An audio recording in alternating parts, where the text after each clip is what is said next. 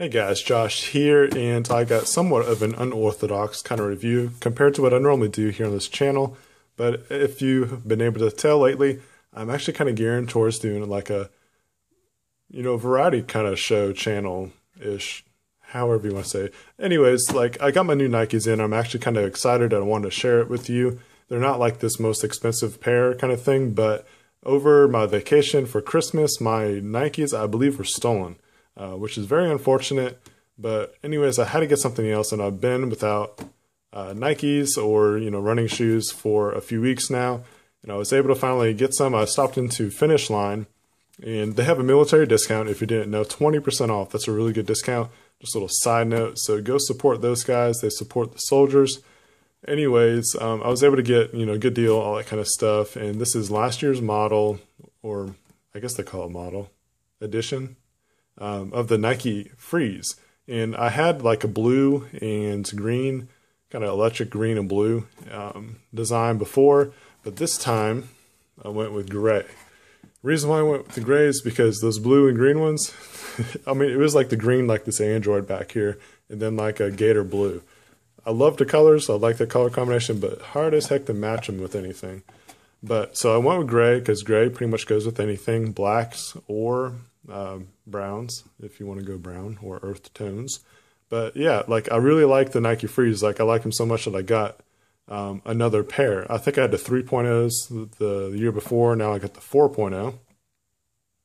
And what's really neat about these is that the one they're really light, and then they have like this different technology, like these little slits and stuff that just really make it comfortable to with impact and whatnot. Like I think before those I was a Nike Shox um, user.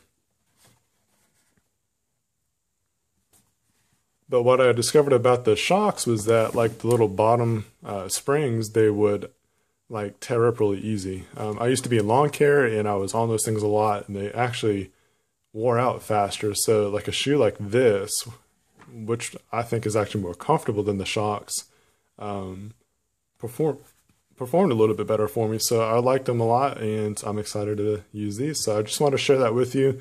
And, you know, if, if you're a Nike free user, uh, let me know and let me know what you think about them, what your experience is. If you don't use these kind of shoes, what kind of shoes do you use to go running or just, you know, whatever you use a running shoe for, just to run around or fashion, whatever you would use a shoe for. But yeah, I really like these. Um, you know, for one, I have big feet. Now, see size, let's see if I can focus in here, size 13. And I had to order these, unfortunately. I don't like ordering shoes, but I was felt pretty comfortable to go ahead and put an order in because I had a size 13 of the Frees before, and these should be good to go. But they're actually really comfortable. Um, like a, uh, the tongue is a little bit different this time around. On the other pair I had, it was like all connected. So this is different.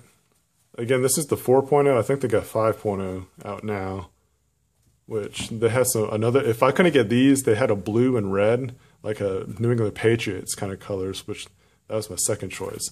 But went with these guys. So let me know what you think about these. Do you like them, or would you go with the more colorful route, black, straight white? How do you like it?